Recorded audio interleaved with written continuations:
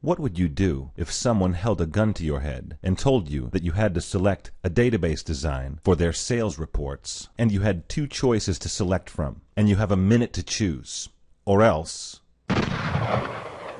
Quickly, on the left, you see that there is a simple database design with one table with all the sales information in it. Each account manager has a row for each month, along with the sales for that month. On the right, you see that tables have been normalized to third normal form, and you are thankful that you learned about normalization now that your life depends upon it. In this database, there are three tables. Each table has a key in the form of an ID field. At the bottom is a sales table that contains foreign keys to the top two tables. Therefore, all the sales information is in the bottom table, and redundancy has been eliminated. So the gun's at your head, and here's the question. Which database is best for running reports on quarterly sales? Did you pick this one?